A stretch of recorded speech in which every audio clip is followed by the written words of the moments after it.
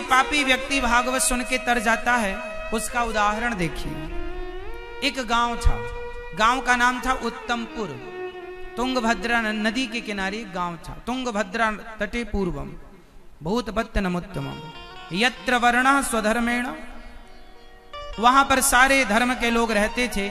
वहाँ पर एक आत्मदेव पुरे तस्मिन सर्व वेद विशारद। सारे वेदों के ज्ञानी, चारों वेदों के ज्ञानी श्री आत्मदेव जी महाराज रहा करते थे। एक पंडित जी थे, जिनका नाम था आत्मदेव, जो अपनी आत्मा में परमात्मा को देखें, वो आत्मदेव हैं। आत्मदेव जी की पत्नी का नाम था श्रीमती धुंधली देवी। धुंधली आत्मदेव जी के जीवन में सब कुछ था, पुत्र नहीं था। क्या नहीं था मेरी माँ? पुत्र। जीवन में सब कुछ क्यों ना हो, फिर भी कोई ना कोई कमी तो रह ही जाती है। अच्छा बताओ, बेटा होना जीवन में ज़रूरी है या नहीं? उत्तर दो, मैया और भैया, सब लोग प्रश्न का उत्तर देंगे। जीवन में किसका होना आवश्यक है? बेटे का बेटी का या भगवत भक्ति का? जीवन में किसका होना अति आवश्यक है? बेटा, बेटी या भक्ति? ज़ोर से। और ज़ोर से। भक्ति तो बेटा होना ज़रूरी है? है? अरे गृहस्थी के बेटा हो जाए तो अच्छी बात है। भगवान करे सबके हो जाए। बेटी हो जाए तो अच्छी बात है, भगवान करे सबके हो जाए। लेकिन एक बात बताओ, बेटा बेटी तो लगभग सबके हो ही जाता है। क्या भक्ति सबके हो पाती है? बोलो, हो पाती है। इसलिए बेटा और बेटी से श्रेष्ठ यदि कुछ है तो भगवान की भक्ति है। इसलिए भगवान की भक्ति जिनके जीवन में है, वो बड़े भाग्यशाली हैं। बेटा और बेटी तो होते ही हैं। बच्चे तो देखो कुत्ता बिल्ली के भी हो जाते हैं। ये मानव का शरीर क्यों मिला है आप लोगों को? चलो एक छोटा सा सवाल मैं सबसे पूछूँगा। आप सब बुद्धिजीवी हैं, पढ़े लिखे हैं, उत्तर देंगे, मुझे विश्वास बताओ सिंपल सवाल हैं हमारे, बहुत कठिन सवाल हम पूछते नहीं हैं। प्रश्न ये है आप लोगों से कि आप लोगों ने विवाह क्यों किया? ये प्रश्न है। प्रश्न फिर से हम दोहराएँगे और एक एक से पूछेंगे। मैया, ओ मेरी पंचायती मैया देखो यहाँ आगे से पीछे गई पंचायत करने। पीली मैया। ओ पीली मैया। बैठी रहने दो। चुपचाप सुनो। ध्यान से सुनो। चलो बताओ। आप लोगों का विवाह हो गया है? किस किस का हो गया? हाथ उठा लो। चलो। बताओ, आपका विवाह हो गया? चश्मा वाले भैया, बताओ आपने विवाह क्यों किया? उत्तर दो। उत्तर दो। कर लिया, पता नहीं क्यों किया? हो गया। इसलिए नतीजा सही निकल के नहीं आता, क्योंकि उद्देश्य ही पता नहीं है। आप यदि लंदन जा रहे हैं, दिल्ली जा रहे हैं तो आप उद्देश्य से जाएँगे ना, हम इस काम से जा रहे हैं। अब जा रहे हैं, पता नहीं किस लिए जा रहे हैं। ये तो कोई बात नहीं होती। आपने विवाह किया है तो कोई तो उद्देश्य होगा आप लोगों का। तब तो किया है, वरना क्यों करते आप विवाह? चलो फटाफट उत्तर दो, और ये प्रश्न घर में जाके फिर पूछना अपने आप से, कि हमने विवाह क्यों किया? आज इस पर चर्चा कर लेंगे जरा सी देर। मैया, आपने विवाह क्यों किया? किया है ना? क्यों किया? ये दादाजी बताएँगे, उम्र में आप लोगों से ज़्यादा समझदार हैं, आप नहीं बता पा रहे हैं, उनका ज़्यादा समय हो गया विवाह गृहस्थ में तो बताएँगे। बताइए, आपने विवाह क्यों किया? चश्मा वाले दादाजी बताएँगे। सबसे पहले तीन बैठे हैं ब्रह्मा, विष्णु, महेश। सबसे पहले। बताइए, आपने विवाह क्यों किया? अब सेकेंड नंबर के बताएँगे। चलो, आप ही बताइए, ऊपर बैठे हैं, चश्मा लगाए, भैया सफ़ेद। कुर्ता। बताइए, आपने विवाह क्यों किया?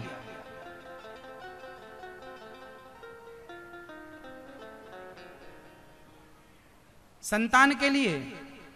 संतान उत्पत्ति के लिए विवाह किया। संतान उत्पत्ति के लिए विवाह, कुत्ता बिल्ली तो विवाह भी नहीं करते, उनके तो होते ही हैं।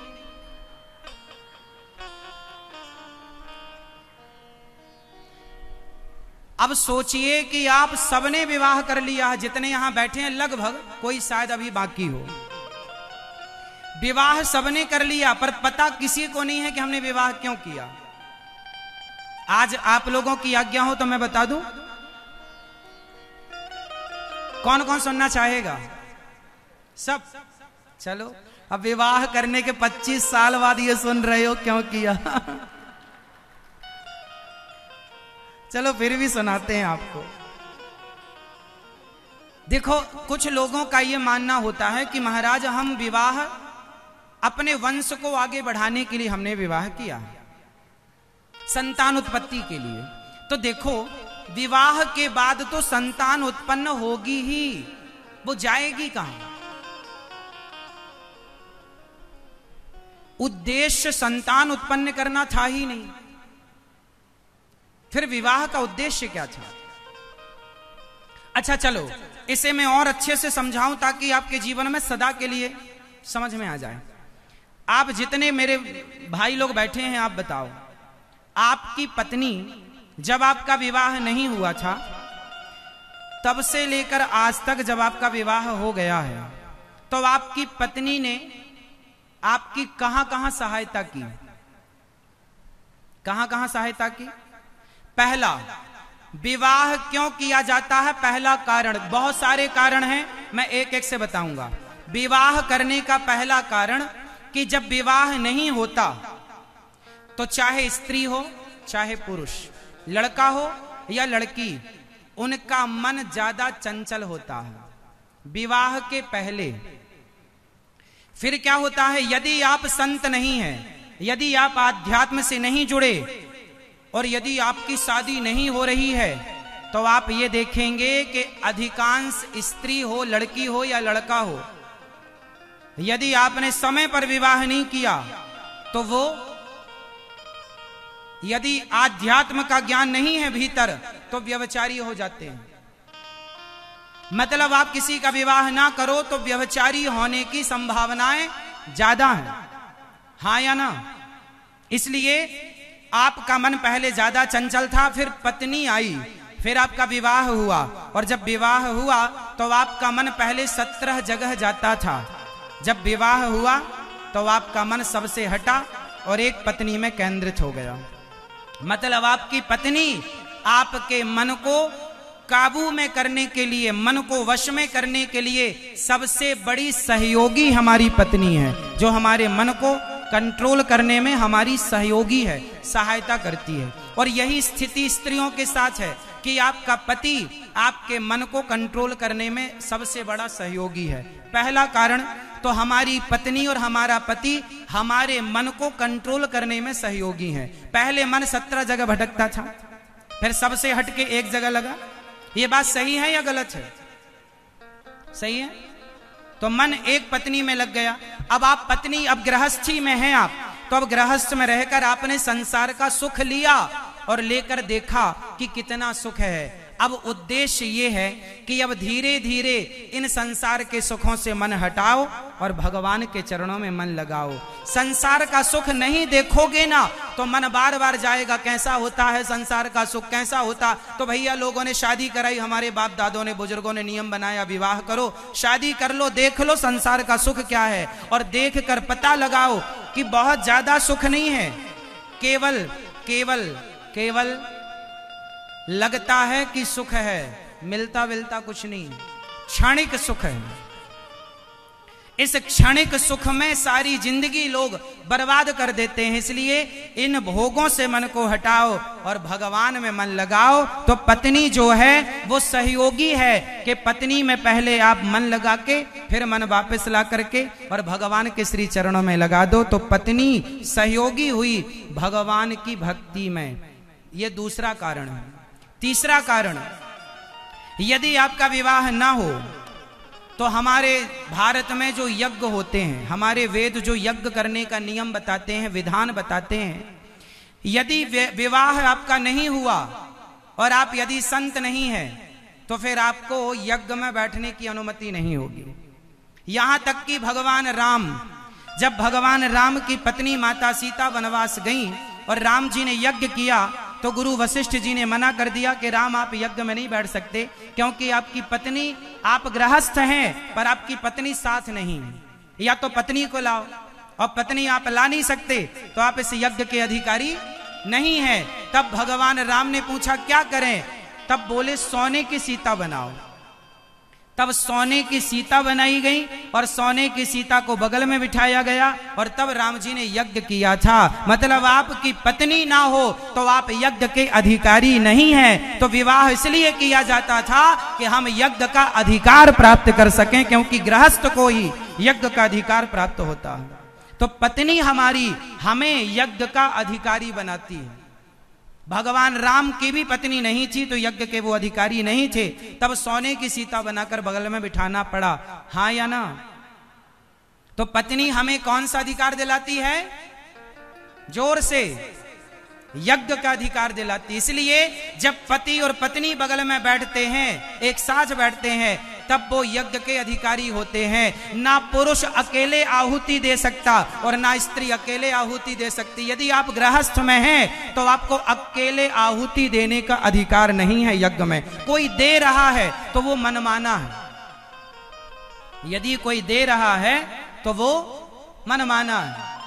यदि आप गृहस्थ में हैं तो आपकी पत्नी को आपके बगल में बिठाना ज़रूरी है। पति पत्नी दोनों बैठकर ही कथा इत्यादि सुने। कोई भी पूजा हो पंडित जी घर में कराते हैं तो गांठ जोड़कर कराते हैं। क्या होता है? गठ जोड़ा होता, गठबंधन होता। मतलब जोड़ी से। यदि पत्नी, अब पति नहीं है किसी का, या पत्नी नहीं है तो फिर तुम अधिकारी नहीं हुए उस पूजा के, फिर तुम अपने बेटा और बहू को बिठाओ। इसलिए कहता हूँ, जब तक पति पत्नी तुम्हारी जोड़ी है, गठबंधन है, तब तक सारे पुण्य कर लो, क्योंकि एक के जाते ही आप उस अधिकार से वंचित हो जाएँगे। जो तुम कहते हो ना, बुढ़ापे में करेंगे, बुढ़ापे तक एक भी चला गया तो तुम वंचित रहोगे।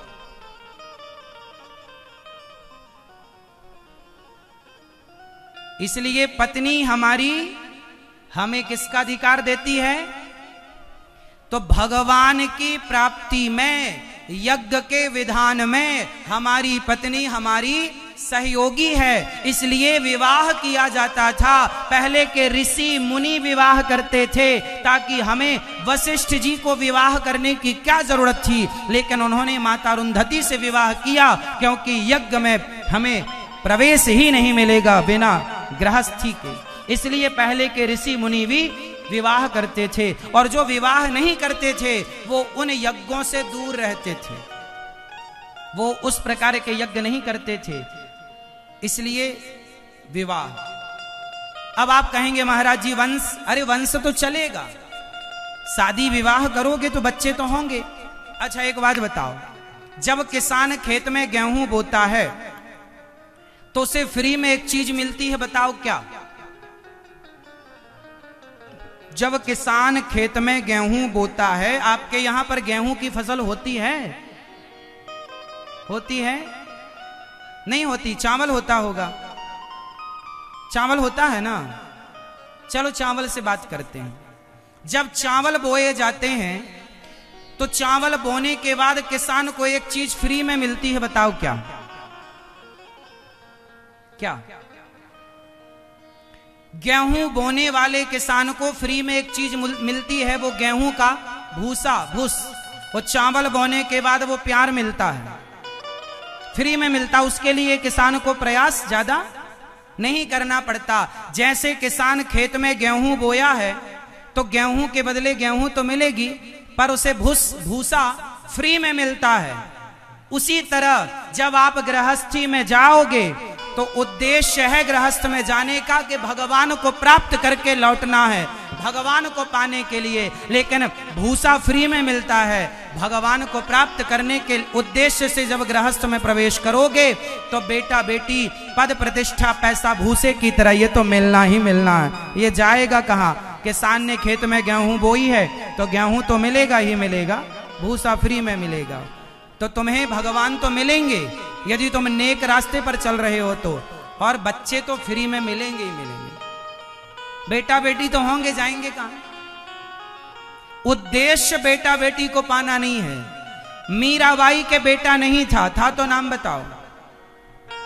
मीराबाई के बेटा था? भगवान की भक्ति श्रेष्ठ है। बेटा बेटी और भक्ति में भक्ति श्रेष्ठ है। इसलिए भगवान को मूल में रख करके गृहस्थ में जाना चाहिए। पहले के लोग जब विवाह करते थे ना तो पहले घर में सत्यनारायण भगवान की कथा होती थी। पूजा पाठ से अपने गृहस्थी को शुरू करते थे। आजकल तो शादी हुई, तुरंत भाग जाते हैं हनीमून मनाने के लिए। तुरंत कोई पूजा पाठ नहीं, कोई विधान नहीं। मतलब आज के बच्चों का उद्देश्य विवाह का भगवान से कोई लेना दे, वो केवल भोग विलास के लिए विवाह करते हैं। आजकल जो उद्देश्य है लोगों का, वो केवल भोग विलास की पूर्ति के लिए लोग विवाह करते हैं। इसीलिए भोगी विलासी बच्चे पैदा हो रहे हैं। पहले भगवान को प्राप्त करने के उद्देश्य से विवाह होते थे तो घर में ध्रुव और प्रहलाद जैसी संतान हुआ करती थी। स्वामी विवेकानंद और झांसी की रानी जैसी बेटियाँ हुआ करती थी। मीराबाई जैसी बेटियाँ पैदा हुआ करती थी। भगवत भक्त आजकल का उद्देश्य गलत है। तो चलो बताओ, विवाह क्यों किया था आप लोगों ने? आप लोगों के विवाह का उद्देश्य क्या है? भगवत प्राप्ति। हमारी पत्नी और हमारा पति, दोनों लोग बैठो भगवान के मंदिर में, वो कीर्तन करो। श्री कृष्ण गोविंद हरे मुरारी, हे नाथ नारायण वासुदेव, कीर्तन करो। पति पत्नी सहयोगी है कीर्तन में, भगवान के चिंतन में खूब कीर्तन करो। पति, पत्नी मिलकर, दादा, दादी मिलकर, बेटा, बेटी मिलकर और भगवान की खूब भक्ति करो। जिस मैंने यहाँ ये तो देखा, आज सवेरे सवेरे यहाँ प्रभात फेरी लग रही थी, जहाँ हम रुके हुए हैं। रोज लगती है कि आज ही लगी थी? रोज लगती है। ये अच्छी बात है कि हैदराबाद की पावन धरा पर यहाँ के लोग रोज प्रभात फेरी निकालते हैं। और मैंने कुछ घरों से भी मैंने कीर्तन की आवाज़ आज सवेरे सवेरे सुनी। जहाँ हम रुके हुए हैं, वहाँ के बगल के घरों में कहीं कहीं से सवेरे हमें कीर्तन की आवाज़ सुनाई पड़ी। इसका मतलब हमें ठीक समझ में आया कि यहाँ के लोग पूर्ण रूप से भगवत भक्त हैं, यहाँ कोई कमी नहीं। है बस थोड़ा जो कमी है, उसे और पूरा कीजिए और दोनों पति पत्नी मिलकर घर में आधा घंटा कीर्तन कीजिए। कलयुग केवल नाम अधारा, सुमरी सुमरी नर उतरही। पारा। इस कलयुग में केवल भगवान का नाम ही है। खूब नाम जपो और काम करो। नाम जपते रहो, काम करते रहो। मन से गोविंद गोपाल गाते रहो। तो खूब भगवान का नाम जपो और बेटा बेटी दे दें भगवान तो रखो। लेकिन उदास ना हुआ करो कि बेटा नहीं है तो रोने लग गए, बेटा नहीं है तो परेशान होने लग गए। नहीं है तो कोई बात नहीं। जैसे भगवान की इच्छा। ठाकुर जी जैसे फूलों में रखें चाहे, हम भगवान के हो जाएँ, चाहे भगवान जैसे रखें। हाँ मेरी माँ, तेरे फूलों से भी प्यार और तेरे कांटों से भी प्यार। हर समय भगवान का स्मरण बनाए रखो। भगवान जो दें, छप्पन भोग दें तो छप्पन भोग खाओ और नमक रोटी दें तो नमक रोटी खाओ।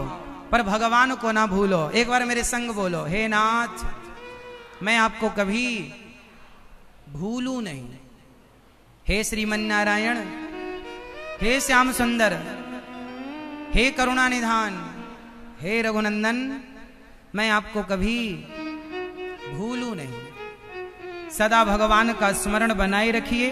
खूब काम करिए, खूब पैसा कमाइए, खूब नाम कमाइए, खूब इज़्ज़त कमाइए, पर सब कुछ करते हुए ये याद रखिए कि हम भगवान के हैं और भगवान हमारे हैं बस। हे नाथ, मैं आपको कभी भूलू नहीं। तो कितने लोग आज से ये कहेंगे, हमेशा, हे नाथ, मैं आपको कभी एक चीज़ और कहा करो। एक बात और मेरे संग बोलो और रोज कहा करो, हे नाथ मैं जैसा हूँ, मैं जैसी हूँ, आपकी हूँ। हे प्रभु, हम जैसे हैं, आपके एक बार कहो। हे प्रभु, हे नाथ, हम जैसे हैं, आपके हैं। हे नाथ, हे श्रीमन नारायण हे श्री रंगनाथ भगवान, हे बिहारी जी, हे राधा रमन जी, हे जगन्नाथ जी, हे विठलनाथ जी हम जैसे हैं, आपके हैं। रोज अपने आप को समर्पित कर दीजिए। समर्पण कर दीजिए। सब हम आपके हैं।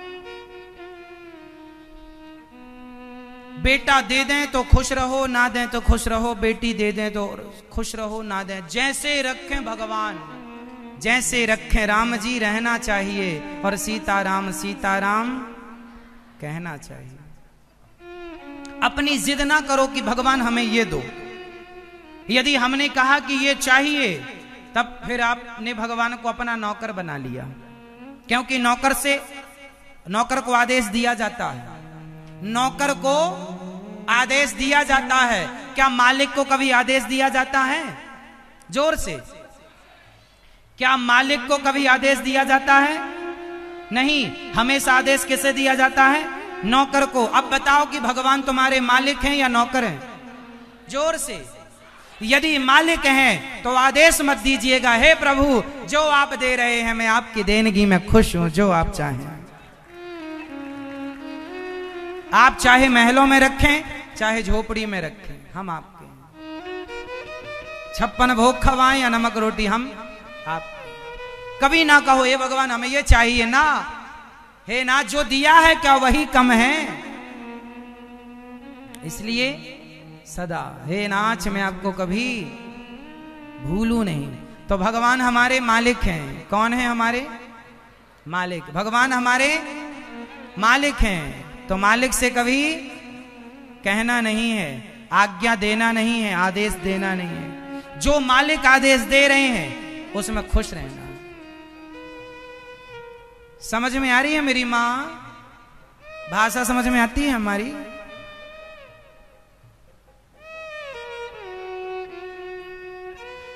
श्री आत्मदेव जी महाराज घर से निकल गए और उन्होंने जंगल में एक संत को देखा। संत ने कहा, कथम रोदसी विप्रत्वम काते चिंता बली असी। बदत्वम सत्वरम महियम स्वस्थ दुखस्य कारणम बताओ, आप दुखी क्यों हैं? आत्मदेव जी ने कहा, महाराज, मेरा बेटा नहीं है। संत जी ज़ोर से हंसे, बेटे के लिए रोता है। अरे, बेटा तो ज़रूरत ही नहीं है बेटे की। क्या करेगा? एक आदमी रो रहा था, महाराज जी, बेटा नहीं है। मैंने कहा, क्यों बेटे के लिए रो रहा है? जितने आँसू लोग बेटों के लिए बहाते हैं, इतने आँसू भगवान के लिए बहाते तो भगवान मिल जाते।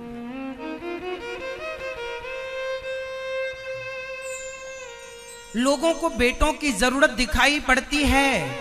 भगवान की ज़रूरत दिखाई नहीं पड़ती। कितनी बड़ी विडंबना। बेटे को पाना सब चाहते हैं, भगवान को पाना कोई नहीं चाहता। भगवान से भी लोग बेटा मांगते हैं। अरे भगवान से भगवान को मांग लो, हे प्रभु, हम आपसे आपको मांग रहे हैं। आपसे क्या ये बेटा बेटी मांगे? भगवान मिल जाए तो फिर क्या चाहिए? इसलिए भगवान से ये व्यर्थ की चीज़ें ना मांगो। संत जी से आत्मदेव जी ने कहा, बेटा, संत जी ने समझाया, नहीं माने, फल दे दिया। ये फल खिलाना पत्नी को। पत्नी को दिया, धुंधली ने फल खाया नहीं, गाय को फल खिला दिया और बहन का बेटा खरीद लिया। गाय को फल खिलाया तो गाय को बच्चा हुआ, नाम रखा गौकर्ण। और धुंधली ने बहन का बेटा खरीद लिया, नाम रखा धुंधकारी। धुंधकारी बड़ा दुष्ट। एक दिन तो अपने माता पिता को उसने खूब मारा। गौकर्ण जी, आत्मदेव जी को मारा, चल पैसे निकाल। आत्मदेव जी रोए, भगवान बेटा पैसा कहाँ है, तूने सब जुआ में उड़ा दिया। जब बेटा नहीं था तो भी आत्मदेव जी रोए। और अब बेटा मिल गया तो भी आत्मदेव जी रोए। जिसके जीवन में रोना है ना, वो रोएगा।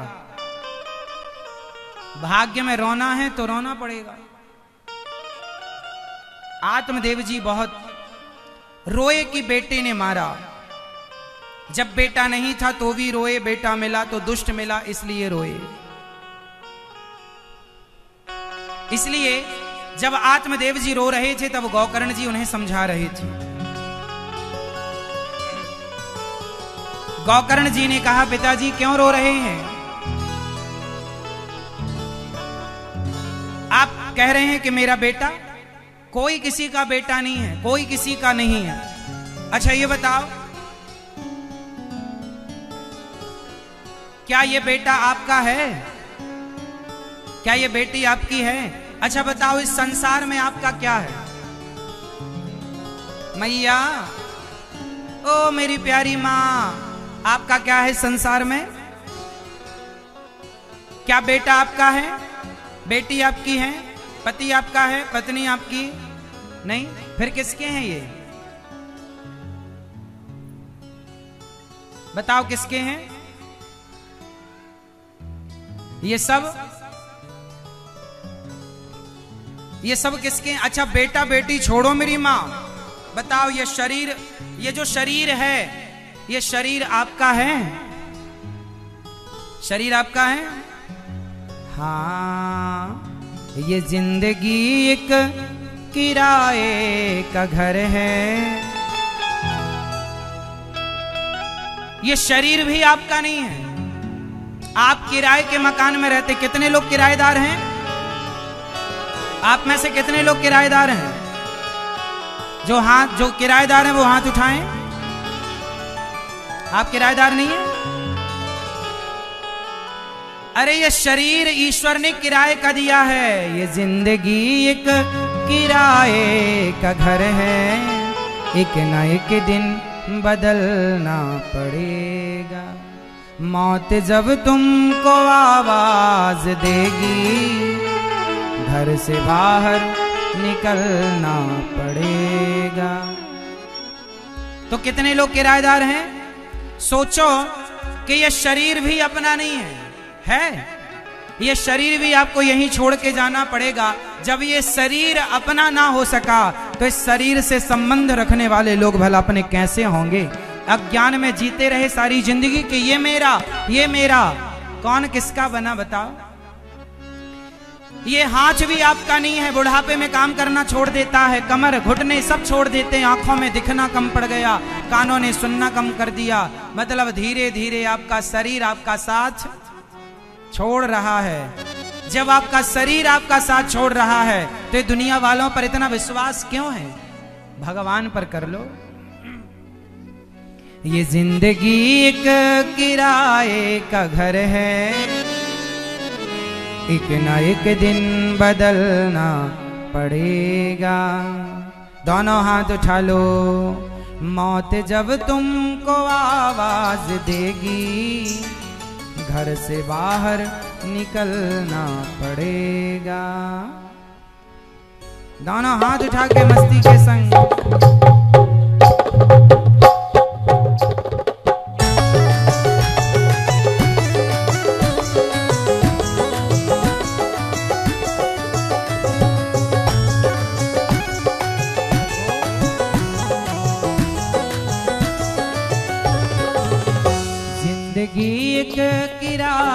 का घर है।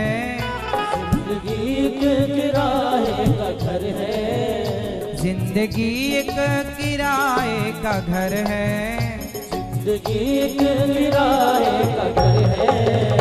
एक ना एक दिन बदलना पड़ेगा पड़ेगा। एक दिन बदलना मौत जब तुमको आवाज़ देगी हो मौत जब तुमको आवाज़ देगी। मौत जब तुमको आवाज़ देगी। मौत जब तुमको आवाज़ देगी। घर से बाहर निकलना पड़ेगा पड़ेगा घर से बाहर निकलना पड़ेगा। पड़ेगा घर से बाहर निकलना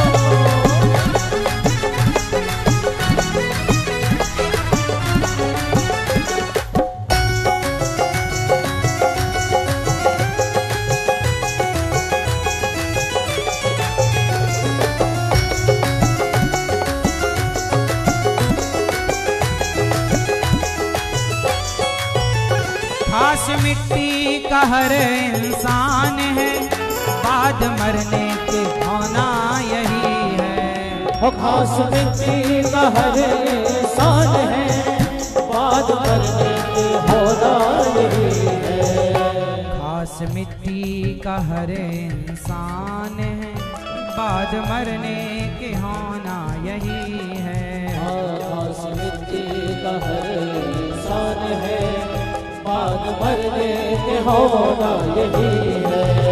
खास मिट्टी का हर इंसान है बाद मरने के होना यही है। खास मिट्टी का हर इंसान है बाद मरने के होना यही है। या जमी पर या जमी पर तो राबत बनेगी। या जमी पर तो राबत बनेगी। या चिताओं में जलना पड़ेगा। पड़ेगा या चिताओं में जलना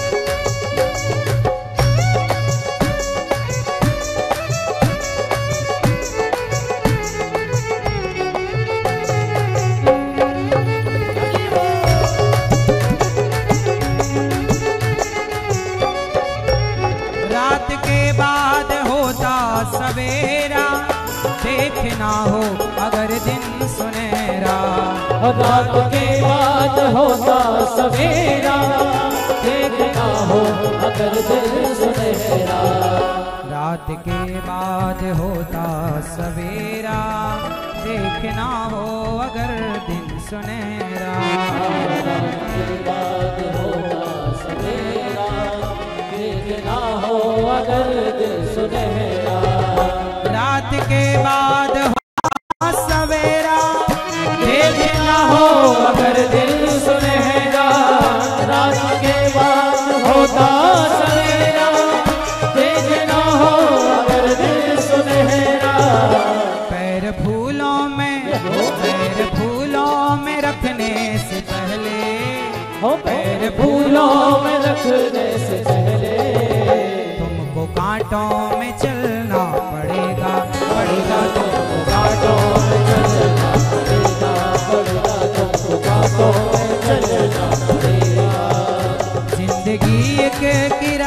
का घर है।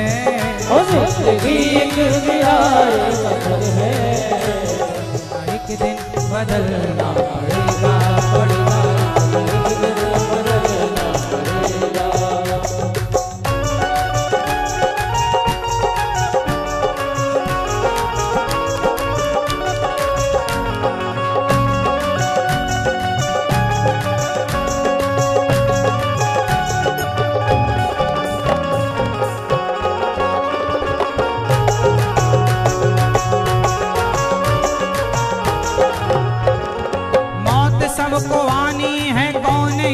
छूटा है तू बना नहीं होगा ये ख्याल झूठा हाँ। है ये ख्याल झूठा है ये ख्याल झूठा है। सांस टूटते ही सब रिश्ते टूट जाएँगे। बाप माँ बहन बीबी बच्चे छूट जाएँगे। हाँ बच्चे छूट जाएँगे बच्चे छूट जाएँगे।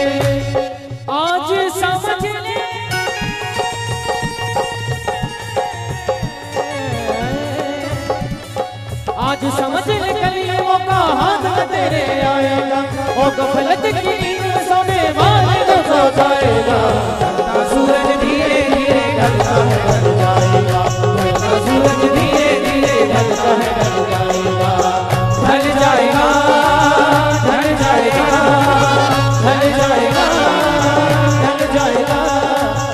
सूरज धीरे धीरे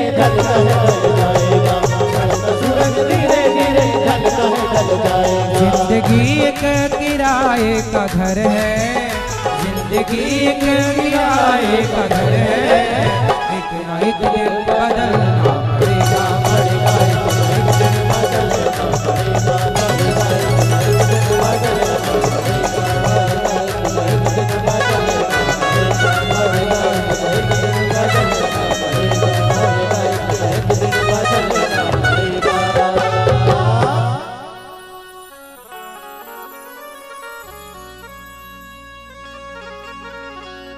मौत सबको आनी है। कौन इससे छूटा है? तू फना नहीं होगा ये ख्याल झूठा है। श्वास टूटते ही सब रिश्ते टूट जाएँगे। बाप माँ बहन बीवी बच्चे बच्चे छूट जाएँगे। तू यहाँ मुसाफिर है ये सराय फानी है। चार रोज की मेहमा तेरी ज़िंदगी जिंदगानी है।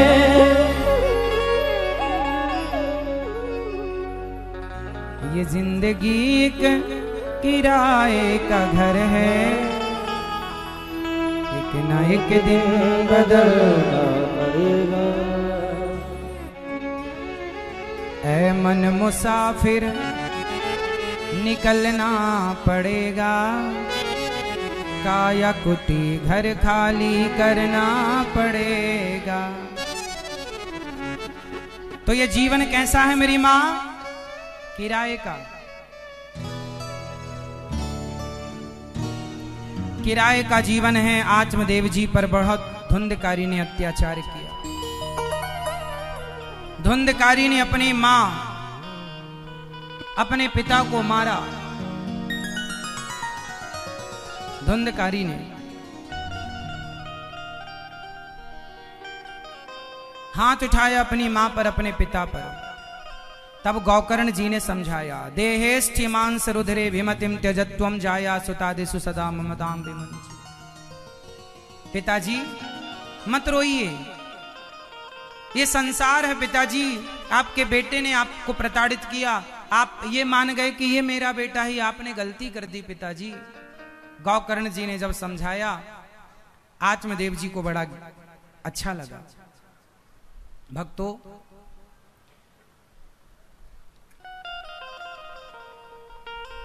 जब बेटा अपने पिता पर हाथ उठाता है, जब बेटा अपनी माँ पर हाथ उठाता है आत्मदेव जी को मारा तो आत्मदेव जी घर से निकल गए। उन्होंने तो कल्याण कर लिया, पर धुंधली को जब धुंधकारी ने मारा तो बेचारी कुएँ में कूद कर धुंधली ने आत्महत्या कर ली। अच्छा बताओ, मैया, ओ मेरी प्यारी माँ, ये बताओ, इस धरती का सबसे बड़ा दुख क्या है? इस संसार का सबसे बड़ा दुख क्या है? सबसे बड़ा दुख क्या है? आप लोग बताओ सब लोग, इस संसार का सबसे बड़ा, चलो, आप गृहस्थी हो ना? बताओ गृहस्थ को सबसे बड़ा दुख कब होता है गृहस्थ जीवन में? कब सबसे बड़ा दुख होता है? नहीं? गृहस्थ के जीवन में दो बार सबसे बड़ा दुख होता है। हर माँ, हर बाप दो बार रोता है। हर स्त्री, हर पुरुष माँ बाप केवल दो बार रोते हैं। आपको पता है वो दो बार कब कब? मैया, मोबाइल चला लो मेरी माँ।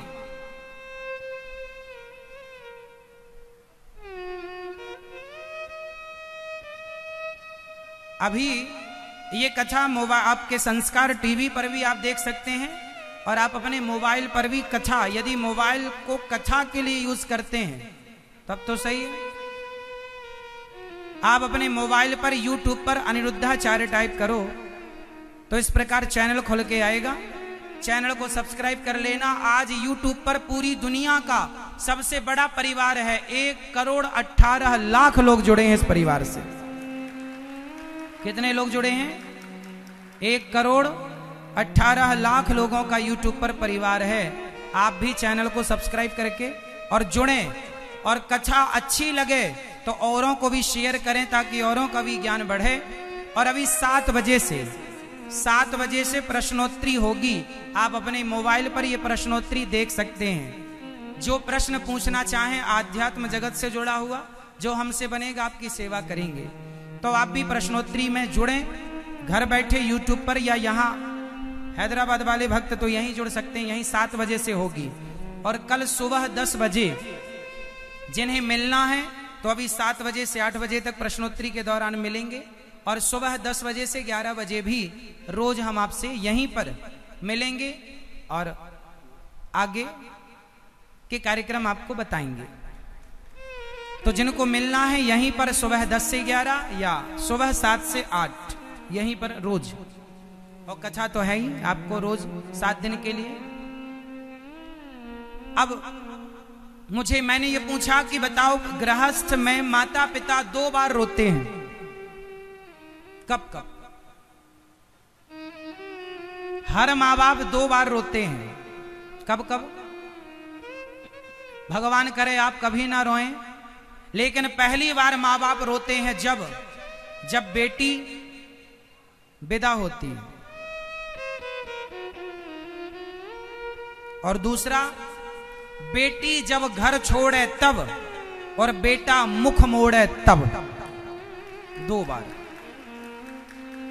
जब बेटी घर से विदा होकर जाती है तो माँ बाप रोते हैं। वो पहला रोना है। और जब बेटा अपने बाप से और अपनी माँ से कहे कि तुमने हमारे लिए किया ही क्या है, जब ये शब्द कह दे तो फिर माँ बाप जो रोते हैं ना, अब वो बच्चे को यही तो नहीं बता सकते कि मैंने तेरे लिए क्या किया एक माँ कभी नहीं बता सकती अपनी औलाद को कि मैंने तेरे लिए क्या किया एक बाप कभी नहीं बता सकता अपने बेटे को कि मैंने तेरे लिए क्या किया है? बच्चे बड़ी सरलता से आजकल कह देते हैं अपने माँ बाप से कि तुमने हमारे लिए किया ही क्या है? हम ज़्यादा समझदार हैं तुमसे। आजकल के बच्चे अपने माँ बाप को समझदार नहीं मानते। कुछ बच्चों की हम बात कर रहे हैं सबकी नहीं। आजकल कुछ बच्चे अपनी माओ को घर से निकाल देते हैं। तुम्हारे पास क्या है? कुछ तो बचा नहीं। ना तुम्हारे पास कोई ज़मीन जायजाद है, ना कोई सोना चांदी है, ना रुपया पैसा है। तो अब तुम हमारे किस काम के? ऐसा कहकर बेटा अपनी माँ को घर से निकाल देता है। ये कहकर कि अब तुम्हारे पास बचा ही क्या है? आप हैदराबाद वाले भक्तों, क्षेत्र वाले भक्तों, कभी वृंदावन आइएगा। वृंदावन में गौरी गोपाल आश्रम है, गौरी गोपाल वृद्धाश्रम है, जहाँ पर दो सौ पैंसठ माताएँ अभी वर्तमान में हैं। वो वृद्ध माए जिनको बेटों ने घर से निकाल दिया है, बहुओं ने घर से निकाल दिया है। एक भी रुपए शुल्क नहीं लिया जाता और माओ की सेवा वृंदावन में, ये दास हम स्वयं माताओं के चरण दबाकर माओ की सेवा करते हैं, जैसी बनती है। आप में से कितने लोग ऐसे हैं जो कभी वृंदावन आके वृद्ध माओ का दर्शन किया है? ये देखो, कुछ लोगों ने हाथ उठाए। हमारी मैया जी भी गई हैं और भैया जी भी जाकर वहाँ पर उन्होंने देखा है। वृंदावन में दो सौ पैंसठ वृद्ध माए रहती हैं, जो बेटे घर से निकाल देते हैं ना माओ को। सेवा नहीं करते, दुत्कारते हैं। ऐसी वृद्ध माओ की सेवा वहाँ पर होती है। ये दास अनिरुद्ध स्वयं करता इसलिए आजकल के लोगों की इंसानियत मरती चली जा रही है। हम आप लोगों से प्रार्थना करेंगे, जमाने की इंसानियत भले मर जाए, पर आप लोग अपनी इंसानियत मत मरने दीजिएगा। आप लोग अपनी इंसानियत बचा के रखिएगा और आप इन वृद्ध माओ की सेवा अपनी अपनी माओ की सेवा कीजिएगा। और यदि ईश्वर ने लायक बनाया है तो वृंदावन में अभी दो सौ पैंसठ माताएँ तो हैं। पर एक हज़ार माताओं के रहने के लिए अभी एक आश्रम का निर्माण हो रहा है, जिस पर एक हज़ार माताएँ रह सकती हैं, क्योंकि रोज कोई ना कोई माँ आती हैं। अब जगह बची नहीं है तो अब ये बड़ा आश्रम बनाना आवश्यक था, जहाँ एक हज़ार माताओं के रहने की क्षमता इस आश्रम में रहेगी। तो आप भी एक कमरा बनवा कर अपनी ओर से वृद्ध माओं को समर्पित कर सकते हैं। आप भी ये कमरे का सहयोग, एक कमरे की छत का सहयोग कि आपकी छाव में वृद्ध माताएँ रहें और आप भी एक माँ को गोद लेकर जीवन भर रोटी देने का संकल्प कर सकते हैं। प्रिय भक्तों, वृंदावन में जो माताएँ रहती हैं, शुल्क एक भी रुपए नहीं लिया जाता। जो आप सहयोग करते हैं, उस बल से सेवा होती है। और आप कभी आकर अपनी आँखों से देखिएगा, ऐसी मेरी विनती है। वृंदावन में एक दूसरी सेवा चलती है, गौरी गोपाल भगवान की रसोई। हज़ारों साधु संत अन्य क्षेत्र लेते हैं। अन्नदान होता है वृंदावन में। गौरी गोपाल अन्न क्षेत्र के नाम से ये सेवा होती है। जहाँ कोई भी आ जाए, कितने भी साधु संताएँ नित्य भोजन प्रसादी संतों को बांटी जाती है। वृंदावन में, वृंदावन धाम है ना, वहाँ तमाम साधु संत रहते हैं। कहा भजन भजन तो करते हैं, पर खाने पीने की कोई व्यवस्था नहीं थी। तो वहाँ पर ये गौरी गोपाल भगवान की सेवा आज अन्य क्षेत्र की सेवा, कोई भी संताय, सबको भरपेट भोजन, दाल, चावल, सब्ज़ी, रोटी, खीर पूरी बारह महीने सेवा है। आप भी एक दिन की अन्य क्षेत्र सेवा अपनी ओर से बंटवा कर आप भी एक दिन की प्रसादी अपने बेटा, बेटी, पति, पत्नी के नाम से अन्य दान करें। ये पुरुषोत्तम माह चल रहा है। इस माह में दान ज़रूर करें, पुण्य ज़रूर करें। साथ ही वृंदावन में एक रसोई चल रही है, जिसे गौरी गोपाल जी की रसोई कहते हैं। भैया, आपको बताऊँ तीस हज़ार लोग रोज प्रसाद पाते हैं गौरी गोपाल जी की रसोई में। तीस हज़ार लोग। आपको विश्वास नहीं होगा, इसलिए प्रार्थना करूँगा, आकर के अपनी आँखों से देखिएगा। अभी हम यहाँ है ना हैदराबाद में तो भी वहाँ रसोई चल रही है, अभी भी चल रही है। वृंदावन धाम है ना, कोई भी आए, कभी भी आए, कितने भी लोग आए, सवेरे आठ बजे से लेकर रात्रि के दस बजे तक, ग्यारह बजे तक रसोई चलती है। और रात को दो बजे भी कोई आ जाए तो उसे पेट भर भोजन मिलता है रसोई में। बारह महीने की सेवा है ये, अखंड सेवा तो ये पुरुषोत्तम माह में आप लोग भी एक दिन की रसोई सेवा अपनी ओर से बंटवा कर अन्नदान कीजिएगा। बाहर कार्यालय लगे हैं, नाम लिखाकर अपनी रसीद ज़रूर प्राप्त करें। और वृंदावन में एक गौरी गोपाल गुरुकुल तैयार हुआ है। अभी काम चल ही रहा है, पर अभी सौ बच्चे हैं। जो बच्चे वेद व्याकरण और वो भारतीय शिक्षा प्राप्त कर रहे हैं, जो गुरुकुलों में पहले प्राप्त कराई जाती थी। निःशुल्क बच्चों का रहना, खाना, पढ़ाई, लिखाई, सब निःशुल्क। सौ विद्यार्थी इस वर्ष हैं, अगले वर्ष 500 बच्चों के लिए तैयार हो जाएगा। अभी सौ बच्चे पढ़ रहे हैं गौरी गोपाल गुरुकुल में। आप कभी आओ, अपनी आँखों से देखो। गुरुकुल की सेवा, अन्य क्षेत्र की सेवा, वृद्ध माओ की सेवा और गायों की सेवा, वृंदावन में गौ माता की सेवा। 200 गौ माता है। आप भी एक गाय के लिए चारा भूसा की व्यवस्था करें। आप एक गाय को गोद लेकर की गौ सेवा करें। जिस लायक ईश्वर ने आपको बनाया, आप भी इन गायों की सेवा से जुड़े। बोलिए गौरी गोपाल भगवान की धुंधकारी ने माँ को मारा। माँ कुएँ में कूद कर आत्महत्या करती हैं। धुंधकारी पाँच वैश्याओं के संग रहने लगा। पाँचों ने गला दबाकर जलते अंगार मुँह में डाले, धुंधकारी मरा। प्रेत बन गया। तब गौकर्ण जी ने धुंधकारी के कल्याणार्थ प्रेत योनि से मुक्ति के लिए उसे भागवत श्रवण कराई और सात दिन की भागवत श्रवण करते ही धुंधकारी प्रेत योनि से मुक्त हुआ। जो भागवत श्रवण करता है, वो हर प्रकार से मुक्ति प्राप्त कर लेता है। धुंधकारी मुक्त हुआ। दूसरी बार गौकर्ण जी ने भागवत जी सुनाई। सब जीव मात्र सदगति हुई। गौकर्ण जी को भगवान ने हृदय से लगाया। श्रोता, वक्ता का निरूपण हुआ। नारद जी सनकादियों के मध्य जो भागवत जी थी, वहाँ भगवान प्रकट हुए। नारद जी इत्यादि सब कीर्तन करने लगे। भगवत दर्शन हुआ सबको। सब भगवत धाम को गए। जन्माद्यस्य चार्थे स्वभिज्ञ स्वराट।